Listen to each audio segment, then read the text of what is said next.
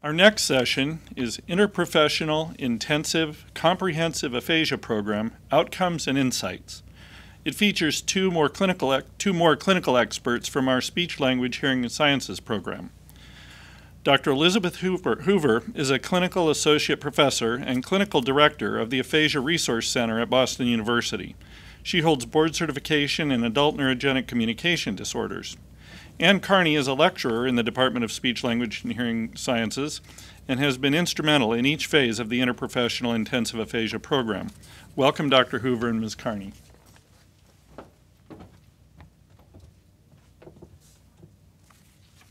Hello and welcome. We're excited to share with you um, outcomes and insights from a program that was developed here at Sargent College about five years ago to meet the needs of our patients with aphasia. Aphasia, as you know, is a language disorder that's caused by injury to the language centers of the brain. So, intensive aphasia programs have been growing in popularity in the last 20 years or so. However, the majority of the growth has been recent. Indeed, the number of programs in operation in the United States has doubled in the past four years. It's estimated that there are now about 14 programs in operation throughout the United States. So, what exactly is an intensive comprehensive aphasia program, or ICAPS as they're called? Well, it's a program that's intensive, which offers more than 20 hours of treatment um, over the week. It's completed by a cohort of participants who begin and end the program at the same time. It addresses both individual and group treatment throughout the program, and it also includes family education. Evidence in support of these programs is still in its infancy. However, recent and encouraging results are showing improvements in specific language functions as well as communication in general and quality of life as a result of these kinds of programs. I'd like to take a few moments now to talk with you about the program we developed here at Sargent College. In 2011, we were charged with developing a program here, and when we considered the needs of individuals with stroke induced aphasia, we recognized that these folks often have motor and sensory issues, cognitive issues, visual issue, issues, as well as cardiac, weight loss, and or cholesterol issues. So we decided to capitalize on the interprofessional culture that we have here at Sargent College and develop a program that was interprofessional in nature. So our program included the expertise of our nutrition, uh, our nutrition therapists, our occupational therapists, physical therapists, and speech language pathologists here at Boston University. Our program has been running now in an experimental design fashion for four years. So we'll present data for you um, that covers the, the last four years of the program. We've enrolled 27 participants in total with a mean age of 56.3 years, a mean level of education of 15.9 years, and a mean time post onset of, three, of uh, 4.9 years. I'm going to turn you over to my colleague Anne Carney now to discuss more details of of the program. Thank you, Liz. As Liz discussed, what made the BU ICAP unique was its interprofessional nature. Participants received occupational therapy, physical therapy, nutrition treatment, and speech and language therapy. The participants re received intensive treatment for six hours a day, five days a week, across four weeks. We offered individualized impairment based speech and language treatments, as well as individual and socially oriented group, OT, PT, nutrition treatments. Explicit training of goals across contexts was another unique aspect of our program. For example, we trained from individual treatment to group treatment, across disciplines, and most importantly, out into the community. Here's a sample schedule for week one of the program. The schedule differed slightly year to year based on the availability of students and faculty. Students were an integral part of the treatment team across disciplines. The schedule also varied based on the scheduling of interprofessional outings and co-treatments. As you'll see, speech and language therapy is represented in purple and represents the bulk of the treatment hours. Nutrition is represented in green across the lunch hour, and occupational therapy abuts nutrition. This scheduling allowed for regular co treatments so that participants could implement strategies and use adaptive equipment for preparing and eating healthy meals. Physical therapy is represented in blue and took place across three days. In our recruitment, we specifically looked for participants who had community oriented goals that could be supported by all disciplines. For example, increasing meal preparation and shopping skills, increasing participation in leisure activities, increasing volunteerism, or returning to paid work. Here is an example of a participant whose goal was to increase his independence for dining out. From the PT perspective, he worked on gait, balance, and endurance training.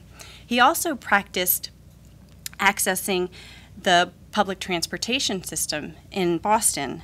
In, that included boarding and deboarding the Boston T, which happens to run outside of our college. From the PT perspective, public transportation schedules and neighborhood restaurants were researched, and he also practiced using adaptive utensils for eating. From the nutrition perspective, Menus were previewed, healthy substitutions were discussed, and in general, we had to modify some of the participants' diets to support the increased activity of this intensive program.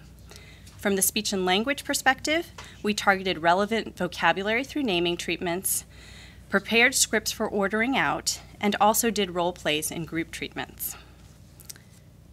I'll now go into a bit more detail about the speech and language program. Speech and language treatment was provided in individual sessions, dyadic sessions, and groups, and comprised approximately 15 to 16 hours of the treatment time each week. The group treatments that we offered were modeled after existing groups at the Boston University Aphasia Resource Center and were selected based on the individual goals and interests of the program participants. Some of our core groups included an iPad Skype group, whereby participants were introduced to the iPad as well as both Skype and FaceTime for new users, a Toastmasters group, which is a speech making group, a book club, a newsletter group, and a current events group. We also had a Constant Therapy iPad group to introduce our participants to this new app developed by Dr. Swathi Kiran's lab to support their home programming.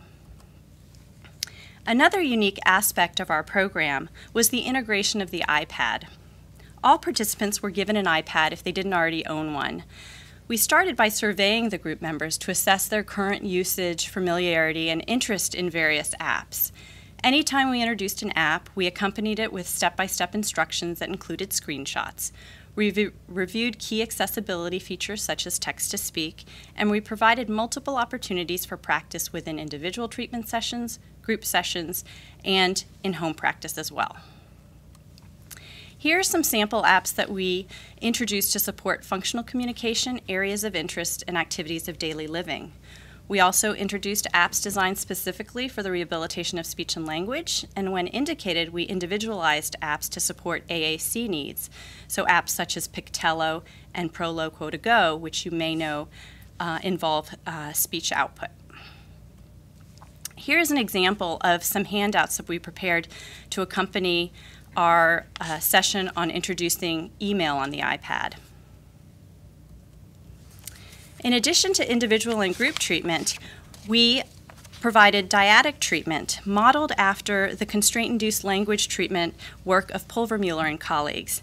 As you may know, constraint-induced language treatment was inspired by the constraint-induced movement therapy work of our physical therapy colleagues. In addition to the CILT exchanges, pairs engaged in a PACE exchange using written and semantic feature scaffolds as needed. Each week, we rotated the stimulus based on the client's interests and goal areas. The stimulus included occupations relevant to the participants, personal hobbies, geographical locations of interest, as well as preferred foods and the healthy foods that were being emphasized during nutrition sessions. I'm going to turn it back over to Liz now to discuss the program's outcomes.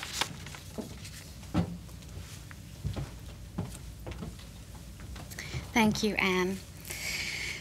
So let me talk you through the speech and language data that we collected. We had uh, a group of measures together, six of which were administered one month pre treatment, immediately pre treatment, immediately post treatment, and then at three months post follow up. The language and communication measures we chose were sensitive to uh, discrete functions of, of communication um, and also assessed quality of life and, um, and, and stigma associated with aphasia. Our data were analyzed using an ANOVA on repeated measures to determine whether performance changed for the group over time. If a statistical significant change was observed, we then went in and calculated um, the location of the difference using a paired t-test statistic. We looked at intervals specifically between treatment or prior to treatment, excuse me, from pre to post treatment, and then uh, following treatment. This graph here illustrates performance for the group on tests of naming. The um, blue line here indicates noun naming, and the red line indicates naming of verbs. The table to the right indicates the test statistics from the, the t-test between each of the baseline intervals. Our data here show a statistical change in scores only from pre to post treatment, indicating a statistically significant treatment effect. We see the same trend or same pattern here on alphabetical word naming, in which the individual with aphasia is asked to name as many items as they can that begin with the letters F, A, and S, respectively. The psycholinguistic assessment of language analyze or excuse me assessed um, measures of repetition of real words and non-words the ability to produce sentence and the ability to produce morphemes in affixed words our data here again shows statistically significant changes only from pre to post treatment, indicating that our group as a whole showed improvements on these specific measures of language. The discourse comprehension test measures the ability to comprehend a discourse, which includes inferenced and uh, and explicit main ideas and details. We see the same pattern of improvement here from pre to post treatment. The graph indicates a slight degradation in performance following treatment. However, this wasn't at a level of statistical significance, and therefore the treatment effect for the group was maintained. Narrative analyses were analyzed for the total number of words as well as the percentage of words which carried correct information. Both of these parameters for the group showed again a statistically significant change from pre to post treatment. Our final measures were concerned with quality of life and communication in the environment. The ASHA FACS, shown here in red, is a seven point Likert scale, which is used to measure the communicative success of the individual with aphasia in the environment. We asked the spouse or close family member of the individual with aphasia to complete this measure to allow us to capture changes that were perceived by the family. The stroke impact scale, shown here in blue, was completed by the participant and rates levels of stigma and quality of life associated with aphasia. Both parameters here showed a statistically significant change from pre to post treatment. So, our data from this program showed promising results on these formal measures of communication and quality of life. But what happened to the patients once this program was terminated? Well, most of our participants who lived locally were, were re enrolled in our weekly groups at the Aphasia Center. Others enrolled in ongoing research studies through uh, Professor Kiran's lab. Some have become volunteer guests in our academic programs in the college. Others have returned to volunteer or work experiences.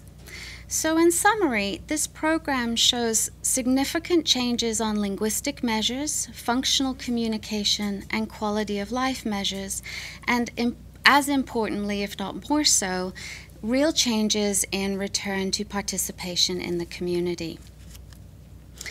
These programs are complex and costly, so more research is needed to better understand which of the critical components in the program were influential in the change that we experienced.